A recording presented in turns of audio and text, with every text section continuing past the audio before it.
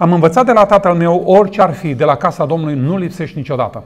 Auzeam uh, mărturia aceasta și auzeam această, această, acest argument. Decât să dorm adunare, mai degrabă dorm acasă.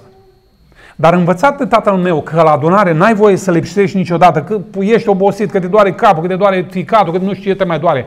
La casa Domnului nu trebuie să mergi. Am ajuns să fiu familist. Am ajuns să lucrez. Lucram schimbul 3. Veneam acasă, mă culcam o oră sau două, mă sculam, îmbrăcam toți copiii și cu ei la adunare. Dar oboseala era oboseala. Mă uitam la un von și la un moment dat vedeam acolo doi predicatori. Două anvoane.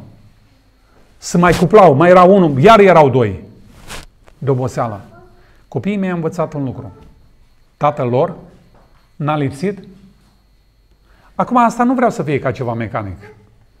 Dar am învățat pe copiii mei înainte de a pleca de acasă. Nu uitați un lucru. Biserica este familia lui Hristos. Biserica este familia voastră.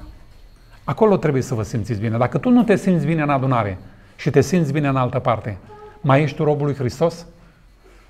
De aceea zic, frații mei și surori, trebuie să veghem asupra noastră, trebuie să veghem asupra familiilor noastre, trebuie să veghem asupra copiilor noștri, să veghem asupra soțiilor noastre, asupra soților noștri. Nu?